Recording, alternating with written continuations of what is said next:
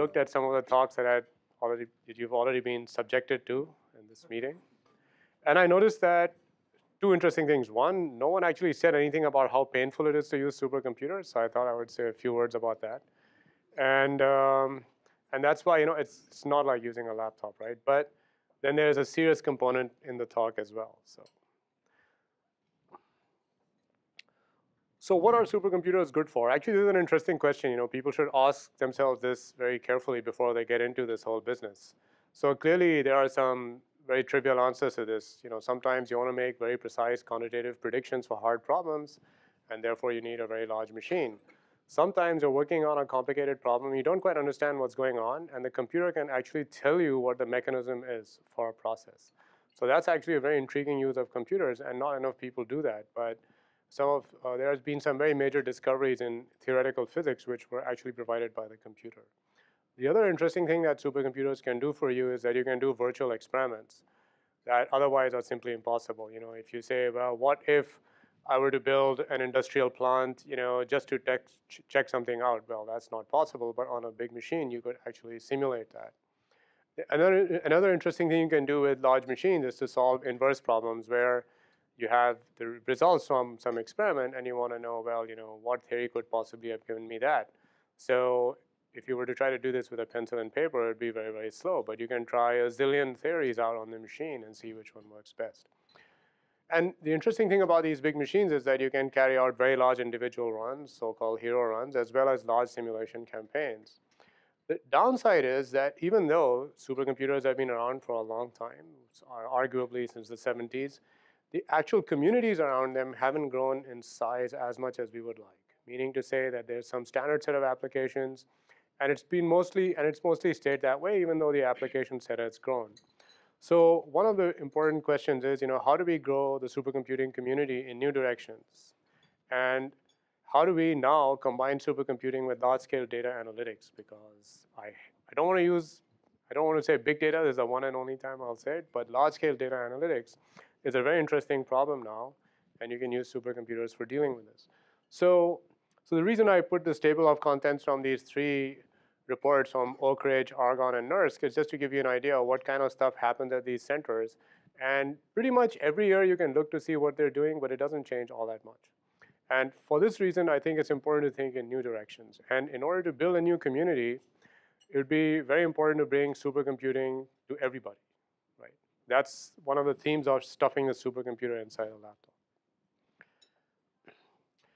Now, supercomputers are great. However, right? You know, I mean, you guys have all done this. That's why you're here. Many of you have done a fair amount of supercomputing.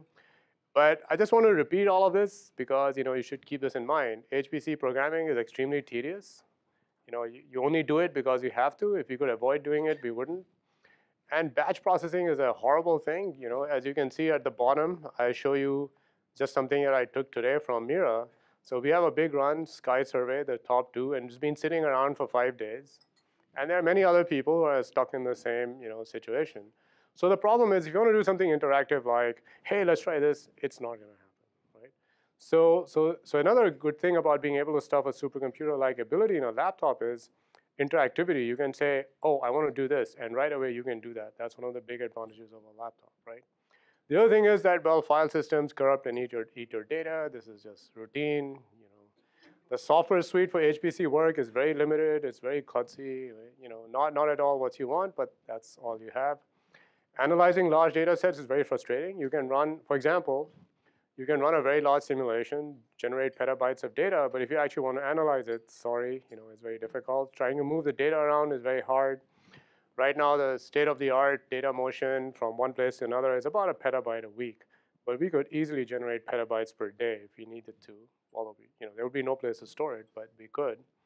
The other thing is that, well, HPC experts are all, you know, people who've been through all of this. They're not in any mood to listen to your complaints, right? So that's another issue. Machine crashes are common. You know, every day something bad happens. And one of the things that my main complaint is that the ability to roll your own is getting more and more limited. If you say, like one weekend, I want to write a brand new code to do something, you know, you realize it's really horrible. It's not going to be simple to write your own brand new code. So so that's one of, I think, whereas on the other hand, on a laptop, you could write, you know, a code from scratch very, very easily, you know. And so the ability to write, write in a very high level language, say Python or something like that on a supercomputer is essentially not there. So the question is, is it possible in some applications, clearly not all, very few in fact, to do away with all of this stuff? Now, of course, the answer is no, but you know, one can hope, right? So, so I should say also that, you know, I've, as Paul said, you know, I've been subjected to a lot of supercomputers, and the fact that I'm still talking to you tells me that, You know, there's something wrong with me, but more importantly, it's true that supercomputing is not for everyone, right? So if you do it, you're going to be one of the few. But the important thing is you can do a lot of very useful stuff and make other people use it. So, so that's what this talk is about. So where can we actually get rid of supercomputers, right? So virtually, not actually, right? So obviously there is one example where if there's no hurry, you just wait because if you wait long enough, you know, this, you know, the power of the supercomputer will be in your laptop anyway, so no worries. But that's very rare most interestingly, you know, the important question to ask is, what is the quantity of actual interest? For example, you can often run a simulation, and a simulation is typically you solve some partial differential equation. Maybe even a lot of equations, but most of the time what you're solving will fit on one page, right? Not the code, but the actual equations will fit on one page. So, or even smaller, sometimes like I, the equations we are solving right now fit on two lines, okay? So you look at this thing and you say, well, I give it some initial condition, but what it actually generates is a mess, right? Some very complicated data comes out. But do you really want to look at all of that? The answer typically is no. And so in some sense, supercomputers create a huge amount of information. Well, not really because entropy is conserved, but they do create an enormous amount of stuff. But how much of that is actually important? So in many applications, what's important is not all of the things that are created, but just some summary statistics. So let me give you an example of this. On the right-hand side, is in my particular field, cosmology, if you look at the sky and you measure the temperature fluctuations in the cosmic microwave background, you see something very complicated, and that's the measurement as made by the Planck satellite in 2013. Now, in principle, I could say to the computer, I want you to reproduce every pixel in that map. But that would be kind of stupid, because actually all I want from the computer is the angular correlation function, which is how, what is the, which is a statistical summary of what that data represents, and that's at the bottom right? And that's not that many pixels, you know, easily understood data. And this is the kind of thing that theorists like to analyze. We look at the bumps and wiggles and we say, oh, we can explain that. But if I gave you the map, you would have no idea how to explain that. So, so the important thing to keep in mind also is that what you want from a simulation or from a computer isn't the raw information, but some distilled information. But, but then if it's distilled information, you know, you can think of a computer as basically taking, is basically being a map. It takes you from some easy to understand set of equations, easy to understand initial conditions, and gives you some easy to understand summary statistics. It's just a very tortured map, but that's exactly what it is. So now this gives you the idea of what's called emulation. And emulation is the idea that if I want to understand what this map is, maybe I can run a number of supercomputer simulations varying the parameters in each simulation, and then interpolate across the parameters, right? And if I can interpolate uh, accurately enough, I can build an emulator that is actually accurate. The second thing is I also have to make sure that it's fast so that I can, having run, let us say 100 supercomputing runs, I can get rid of the supercomputer and replace everything by an oracle, which fits inside a laptop. So that's the basic idea of an emulator. And of course, the emulators will only work if the parametric dependencies are sufficiently smooth, right? If things are going all over the place, then it's not going to work. The other problem with emulation is that sometimes you have a very large number of degrees of freedom. I, by that I mean parameters, right? The number of degrees of freedom could be hundreds, sometimes thousands, and it's still an open question about how high a dimensionality can emulators tackle, okay? So this talk is actually about emulators. So let me give you another example about, you know, summary statistics, how things are changing, and at least in my field. So if you look to the extreme left, this is a compilation of measurements made in 1999 of the microwave sky. And this is again the angular power spectrum. As you can see, the measurements weren't very good. You could sort of see one bump, but that's about it. And you could argue, you know, is the bump there or not? I, I guess the bump is really there. But if you now look at 2013, it's just amazing how good everything is, right? The theoretical prediction in 1999 is almost perfectly seen on the sky in 2013. Similarly, if you look at the distribution of galaxies on the sky, so top right, uh, right top rightmost figure, you see that there is an analogous quantity that you measure called the correlation function. The, these two are in some sense Fourier transforms of each other, but this time I'm looking at the distribution of galaxies, not of the microwave background. And what you can see is that when the galaxies are very far apart, you know, because the volume of the surveys was very limited, I couldn't really measure anything. So in the, uh, on the right side, you see where it says 100 megaparsec, basically the data is just noise. But right where the data over there was noise, in 2013, there's actually a very beautiful signal hidden there, which is this little bump that's seen in the BOSS survey. And that bump is actually, in some sense, the Fourier transform of what you see in the CMB. So what has happened is that in the span of about you know a decade and a half, you just have amazing data. And these summary statistics that I was talking about have almost no error bars. They're really, really good. So, so these are the things that we would like a supercomputer to calculate for us.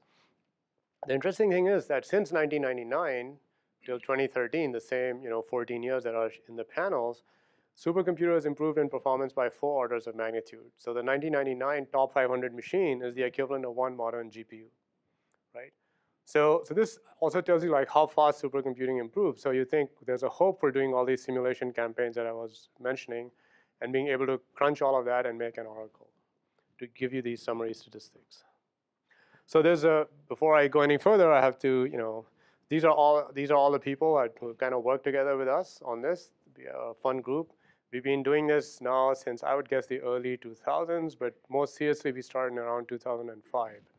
And the reason we got started on this project of emulation was that there was a meeting sometime, I guess, around 1999, around the same time as you saw those early panels, when we were trying to argue, is it ever possible in cosmology to do these large-scale simulations for an inverse problem? Now, cosmology is, is not an experiment, right? The universe is not something we control, although we would like to.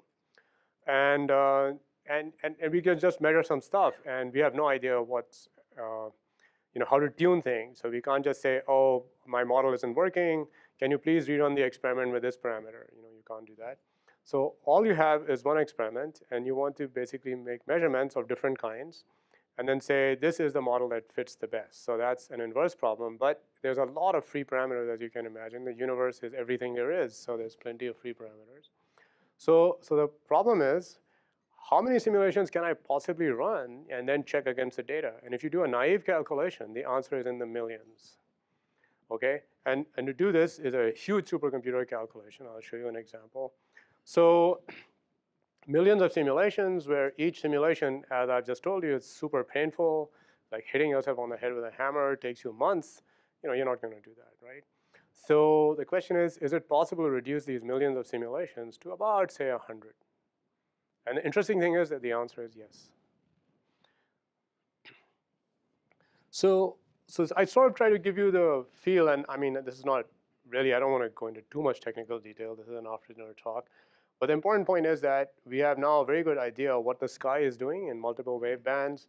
There are these big, deep surveys that look all the way from the optical to the X-ray, gamma rays, microwave background. We have a very good idea of what the universe is doing.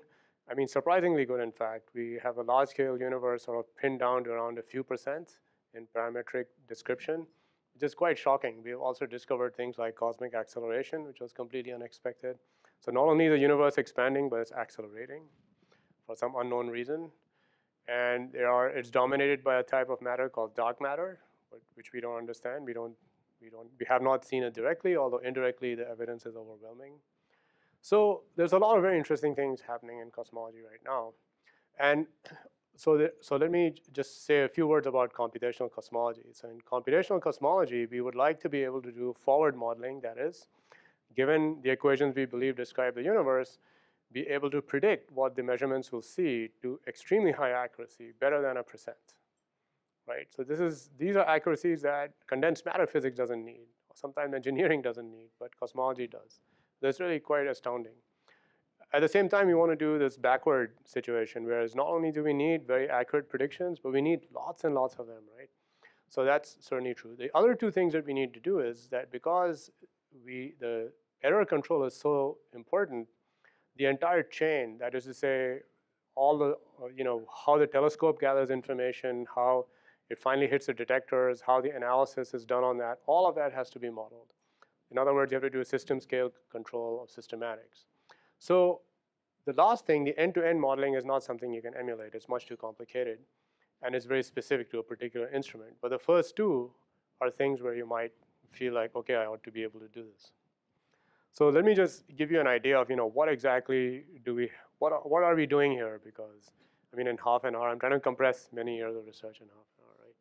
So, so the idea here is that I'm trying to solve for the evolution of the universe. So, so the universe, currently the measured universe consists of around, say, billions of galaxies or so, right? So let's say you want to do an n-body simulation, meaning each galaxy you want to represent as a bunch of points. And if you want to get a decent idea of what the mass distribution is around a galaxy, you need at least a 1,000 points per galaxy. So you have billions of galaxies, you have trillions of points. So that's sort of the minimal requirement of what a simulation should look like.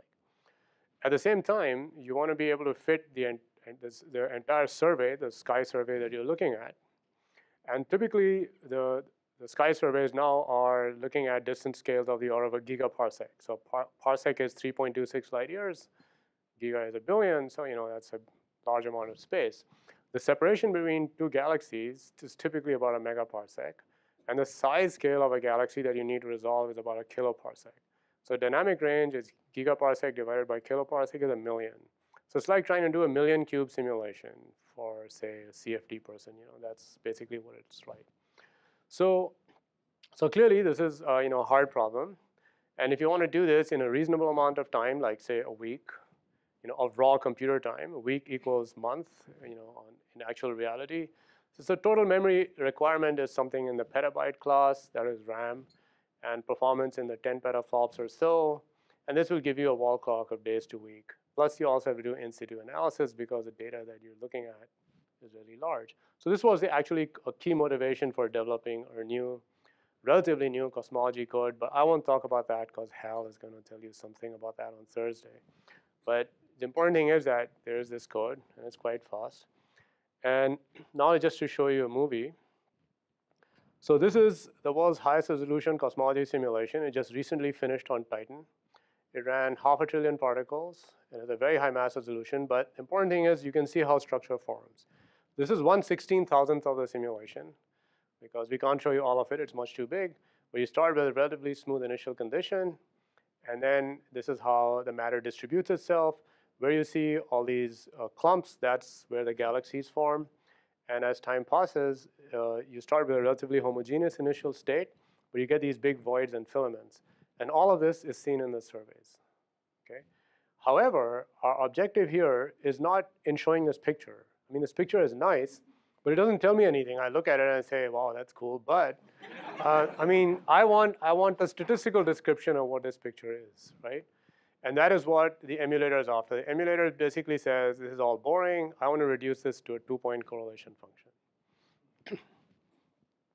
so let's so this is what actually happens. So, so, so, so on the right, so outer rim is another simulation that we are running, which is in particle size even bigger than the one that you just saw. Uh, just saw. It's about a trillion particles, and it's running on Mira, and it is almost finished. The important thing to keep in mind here is that there are some very subtle signatures uh, that are seen in these summary statistics. So on the right-hand side, you see these little wiggly things, right? Those are called baryon wiggles, and they're a powerful probe of the evolution of the universe. And in the previous generation of simulations, which is like the something called a millennium simulation in 2005, you couldn't see them because the simulations weren't big enough. They just didn't have the volume to actually give you the statistics required. But now with this new simulation, you can clearly see them. Yes. There's actually even a survey called Wiggles. So, so yeah, actually Wiggles Z, but yeah. You don't have to call them Wiggles, they're oscillations, but fine. So, so how exactly is precision cosmology supposed to work, right? So you, you map the sky with survey instruments on the right. You have a big observational campaign that gives you these summary statistics that I was showing you earlier. On the left, you have a supercomputer simulation campaign, right? And I'll tell you a little bit more about how this is run, where hopefully you don't have to do too many simulations. You build this oracle, which is the emulator, and then you run a Markov chain Monte Carlo, which is essentially an inverse problem solver against the data, and that that tells you, you know, what's happening, right? So the question is, can we do this emulation? Can we produce these accurate emulators to do cosmology? So one thing I just wanted to say, uh, because I know this is one of the talks that there was a very provocative slide, which was like the end of science. You know, which the idea was that if you have enough data, you don't need to be scientists. I think this is absurd and ridiculous, okay? Because that is totally false. You know, more data is, the smarter you have to be, right? So the basic, but however, there is some truth to this thing, which is on the left, is how people used to think, statisticians used to think a long time ago, which is you only thought in terms of simple data models. Like everything was fit to linear function or quadratic at most, okay? But now what happens is, now that we have machine learning, we have an amazing, you know, we don't think of the black box as some very simple data model. We think of it as an essentially arbitrary dynamical map. And the idea is to just try and find out what the correlations are in the data given infinite amount of computing. So these are sort of extreme cartoon views of what the actual situation is. The actual situation is that you actually do have a model and with a lot of computing, you can have very sophisticated models. So you can use this large amount of data to actually learn about the models and to improve them. So the actual situation is more complicated. I don't have time to discuss this, but my point is that this is the right way to think about stuff. Okay. So how exactly do we solve this inverse problem? So the first thing we, so which is, and the problem in our case is that we have the observations that I've, yeah, I've shown you, they're really good. We have simulations, they're also really good, but they're very expensive. So the first thing you have to do is you have to say, well, you know, how much accuracy do I need? And how many sample points can I conceivably run given that taxpayer money is finite? So, so, some, so, you, so you start by designing an optimal simulation campaign. Let us say, you know, this is an old slide, so it says 20 parameter range, but it could be bigger, but that's about a reasonable size. And then you run something like about 100, sometimes 1,000 simulations with the chosen parameter values. And then you build this emulator, which is essentially a very fancy interpolator in high dimensional space. I'll show you a little bit about how it works. And once you've done that, then you check, is this thing actually working? And then you can compare it against the data and do scientific inference. So the very first thing you have to think about is how exactly should you do interpolation when you have simulation results? So let's say that I was solving the equation perfectly, so there are no errors to first order. Then, you know, so standard interpolation methods, you know, won't work because if I give you a bunch of points and I say fit some known function through it, obviously if the if there's no known function, it won't fit. You know, you'll get some error here, some error there. You can do splines, you can do regression, but it won't go exactly through the points. So what we do is we use something called Gaussian process modeling. So even though I don't expect you guys to figure out what a GP is from this talk if you didn't know it already, I highly suggest that you read about Gaussian processes. It will save your life at some point. It's a very important concept. So interesting thing about Gaussian processes is that what you do is you say, okay, I have a bunch of points and I'll fit them by using a family, an infinite family of functions. Okay, so, and that is basically a Gaussian uh, random process. So, but for the moment, just think about it in the following way, that I've given you a family of functions that is extremely flexible, right, which is on the left. So it's just some relatively smooth looking but arbitrary functions. And then what I do is I say, okay, but I have, so that's the, there's an input x and there's an f of x on the y-axis. But let's say I happen to know the values of f of x at a couple points, right? So this is called conditioning. So I say throughout all the functions that, go through, that do not go through these points, right? So now I have so now what I have is I have a reduction in the posterior uncertainty. So what I can say is that this family of smooth functions is actually giving you some idea of what the actual function could be that went through these two points, right? Now, and then you have to, then there are questions of exactly what does this mean? You know, how do I avoid underfitting, overfitting, things of this sort? That's a separate technical issue. But the interesting thing is that it doesn't matter how the points are distributed. So unlike certain techniques where the points have to be evenly spaced and so on, here the points can be anywhere. It doesn't matter. And the other interesting thing about a Gaussian process is, and again, I know this is going to be obscure and magical, but conditioning is exact, meaning that I can write down analytically how to condition. In any other process which is not a Gaussian process, you cannot do that. Nonetheless, even though I can do that analytically, it involves, finally, the answer involves inverting a matrix. So you have a high dimensional problem, you have the difficulty that matrix inversion is n cube. Okay? So life is never fair. You found a very cool method, but unfortunately, you have to invert a matrix. So, so I'll come back to that, how we deal with this. But let's, come, let's turn to the first question. The first question was about sampling, right? So, so let's, let's, let's, let's imagine a very, very simple situation where we have only, let's say, two parameters, a two-parameter space, and I ask you to sample from it. So what do you think is the best way to sample from a two-parameter space? What do you think? Sorry? No, but I mean, just just give me something very simple answer like, do you like a grid? Do you like random? What do you like? You like random. Anyone else?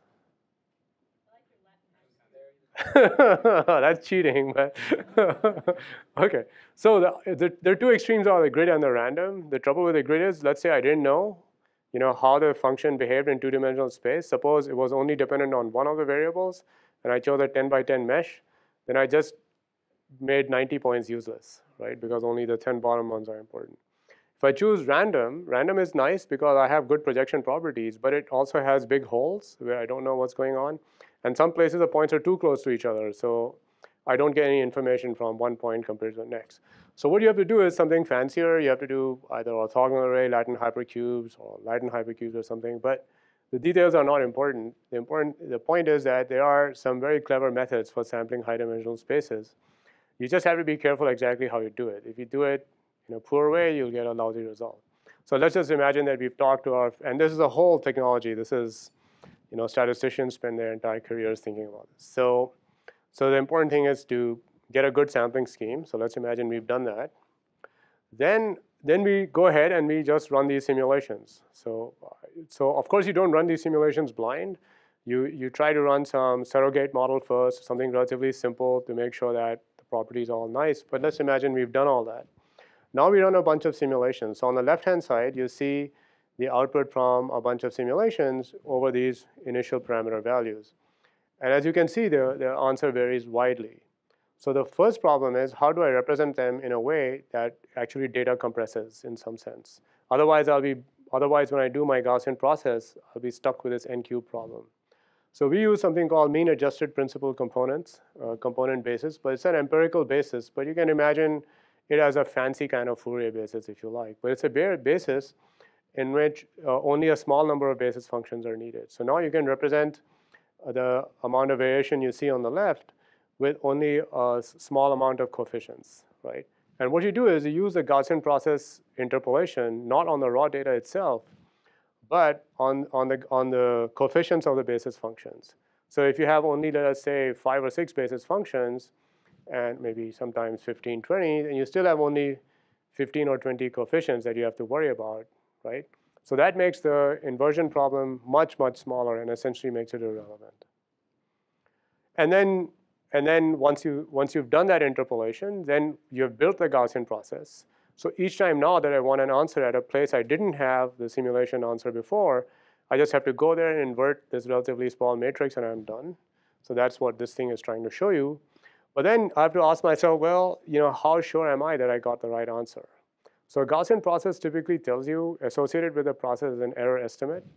But you should never believe error estimates because you know they're always asymptotic and or you know, they don't converge. So a posteriori methods of checking for error convergence are very, very important.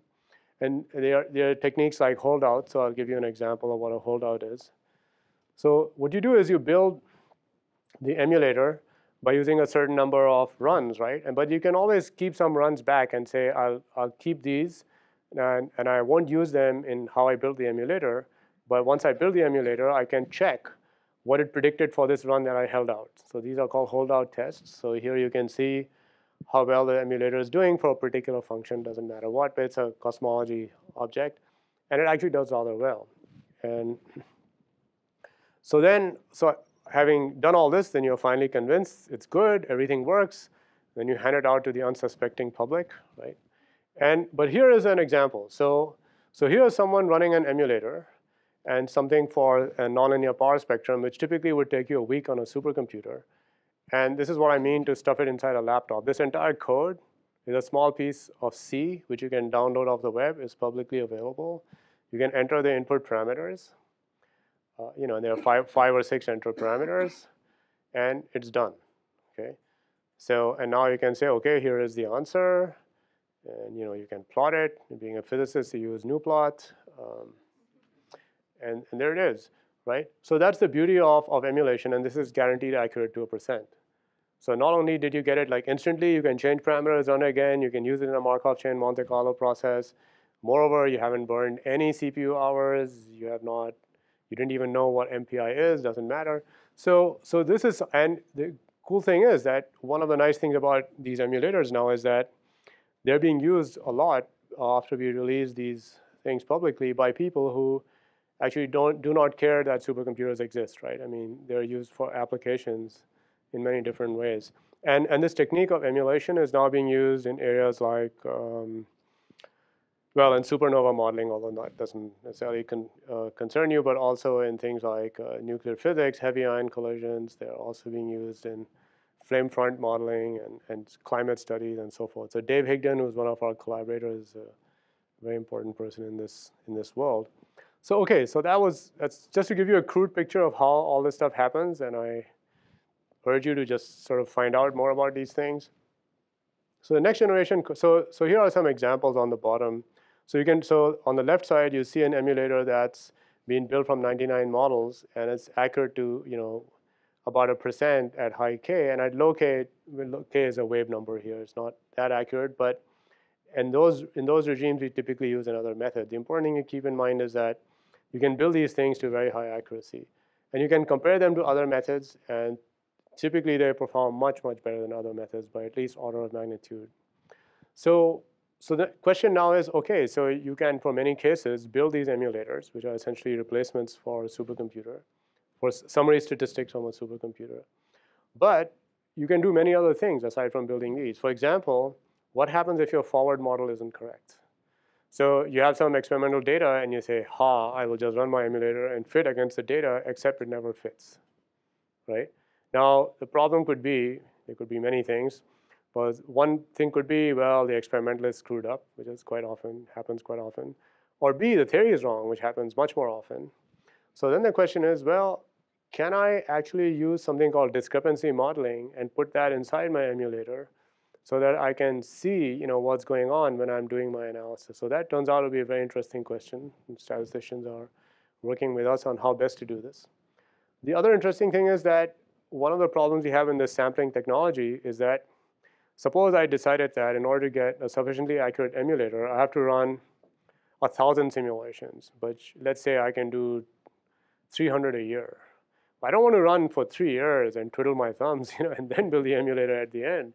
So I want to be able to build the emulator in stages. So it turns out this is a surprisingly difficult problem. If you thought of it, you would say, well, surely it can't be that difficult, but actually it is. So there are techniques like nested and adaptive sampling that people are thinking about. And, um, and they seem to be working pretty well. So we have a nested sampler that was designed by Derek Bingham and his students. We use that. It works really well. Uh, the interesting thing I would say is that we had a small informal meeting and we said to our stats friends, surely you can do this. And several of them said, oh, it's completely trivial. They tried and failed. And Derek was the only one who got it to work. So, you know, it's not that simple. Then there are other things like covariance estimation. So emulation, as the way we've been using it, is being used to tell you what the mean value of a function is, but what about variance and so on? What about the covariance, sample covariance of these functions? Which is a much harder problem because it involves many, many more simulations.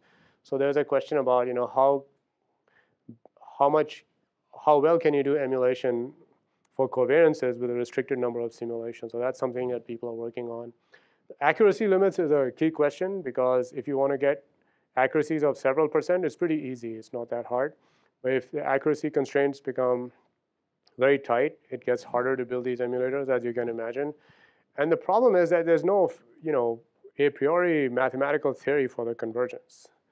That's one of the difficulties with these methods. So you have to kind of do it on a try it and see approach because so much depends on the smoothness of the response surface, which you don't know a priori. So, so smart mathematically minded people are needed here to figure these things out. Finally, there's this thing called the curse of dimensionality, which is how high a dimension can we actually go to? So right now, the highest dimensional problem that is of interest to us has around 250 dimensions. So we are a bit scared of 250. At the moment, we think we can handle 20, but you know, 200s maybe little little worrying. So, but you know, but that's something we just continue push, continue push, and see how far we get. And hopefully, the supercomputer is which you know every three years you get an order of magnitude will continue to happen. Although my worry now is that in the future, this order of magnitude will come with an order of magnitude more programming pain, right? Which you guys will be subjected to, not me. but anyway, thanks very much for listening.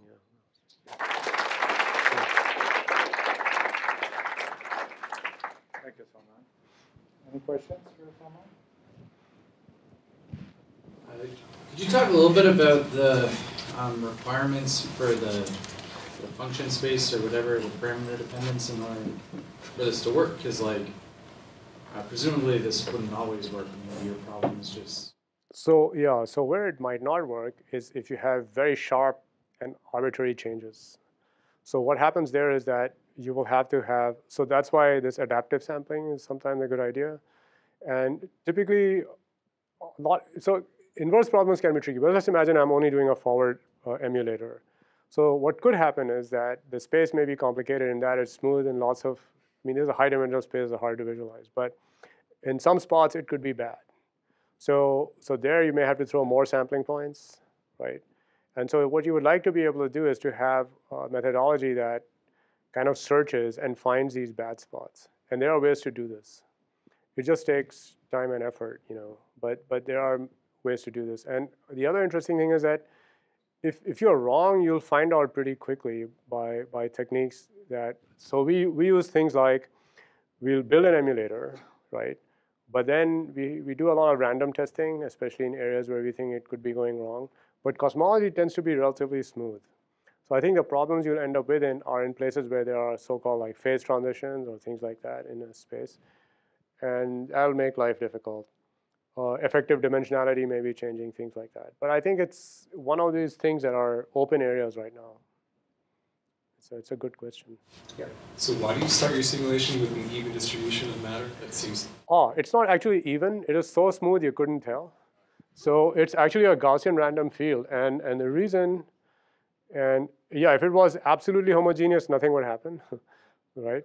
So, but but what it is is, I mean, I'll show you in a second. So, so you see this is the microwave background temperature of the sky. So this, these fluctuations that you're seeing here are roughly 10 parts per million. So they're very, very small. So the color scale isn't, doesn't do that justice. So this corresponds to a very, very small density fluctuation in the early universe. Okay? And that density fluctuation is a Gaussian random field. You can look at these pixels and ask, you know, what is, it, what is the distribution of the temperature? And it's perfectly Gaussian. It is amazing, right? If the universe decided to pick the simplest possible random field, you know, the universe is smart, right? And it took pity on us also because if it was not Gaussian, we'd have a hell of a time. But, uh, but, but so, so there is actually a Gaussian initial distribution here, although you can barely see it. But the evolution sort of picks it out for you. So that's what this is. And then the, uh, there's a gravitational instability, the Jeans instability that blows that up. So that's what you're seeing here. So in a, in a normal, uh, if the universe wasn't expanding, this would be an exponential instability. It would grow very quickly. But because the universe is expanding, the instability is slowed down.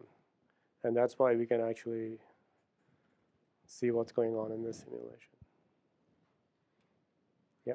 The model discrepancy, you mentioned that that's one of the next steps. Is it going to be like a Bayesian calibration? You'll use observational data and your yes. simulation? Yeah, this is, some people also call it self-calibration. So the idea is that there are physical uh, parameters and there are modeling parameters. And you would like to be able to use a self-calibration technique to set the model parameters from the data. And the model parameters should hopefully, you know, wipe out this thing. The problem with all of this is that the model parameters and the physical parameters will pay off against each other unavoidably. And you worry that there may be some bias in the physical parameters if you do the discrepancy modeling wrong, right? So that's the thing that keeps me up at night. Is like, you know, people write papers, I say, but, but, but. So, yeah, so that, that's an important point. Yeah. How many years do we have before we expand out to, to nothing and the world? Oh, I wouldn't worry about that. We have um, there, so th- so there's two kinds of world ends. You know, one is the solar system, and one is the universe. So as far as the universe is concerned, so now that so suppose the acceleration keeps going on forever. It's a depressing thought, but it could. In that case, in about you know, oh I don't know, of the order of you know hundreds of, I think what is the number? It's not a trillion, but it's in the hundred billion range of years you know, then there'll be nothing to see. There'll be just us and Andromeda. Yeah. So that's why astronomers say you should fund us now because later on there'll be nothing to observe, right?